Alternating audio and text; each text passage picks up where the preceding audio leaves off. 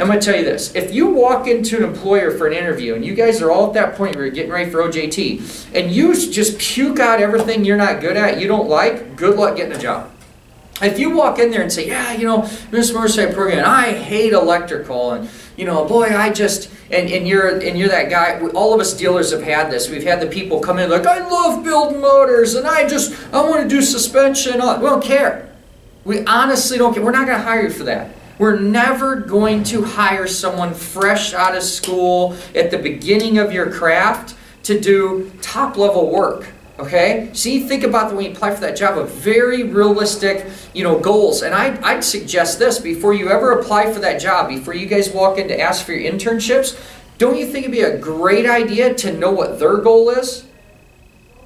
Do you think it'd be a good idea to talk to the other employees before you get to that interview and figure out what is what are the goals of this dealership, or possibly this position? You talk to the other mechanics that are in there, the other parts department people, and say, what are the big things you do? I'll tell you what, we do oil changes, we do brakes, we do tires, we do fuel system, you know, services, we do accessories. Man, that's what you need to get good at. Okay? To then get to your own personal goal of going, hey, now I've proven myself with this dealer. Man, I'd love to bump up into becoming and mentoring under an engine builder, under a suspension guru, or a riding coach, or whatnot. Parts department. We got some people in here wanting to do parts department. You ask your same thing. What do you do? What's your day look like? Well, I open shipping and receiving. I have to do documentation. I have to have good phone report with the uh, vendors to order my parts. I have to be a research specialist. I have to be able to find stuff people can't find. I'm going to be an eBay guru. I'm going to be a, a Craigslist guru. I'm going to, you know, uh, you know, all of those things that are going to get you successful in that position.